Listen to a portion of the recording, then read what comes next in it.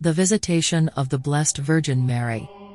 The Visitation of the Blessed Virgin Mary is a Christian feast celebrated on May 31st. This event commemorates the meeting between Mary and her cousin Elizabeth, who was pregnant with John the Baptist. According to the Gospel of Luke, when Mary heard that Elizabeth was pregnant, she went to visit her. When Elizabeth heard Mary's greeting, John leaped in her womb, and Elizabeth was filled with the Holy Spirit, recognizing Mary as the mother of her Lord. Mary responded with the Magnificat, a hymn of praise to God, which has become a part of the Catholic liturgy. The visitation shows Mary's joy and humility as the Mother of God and her kindness and selflessness in helping Elizabeth.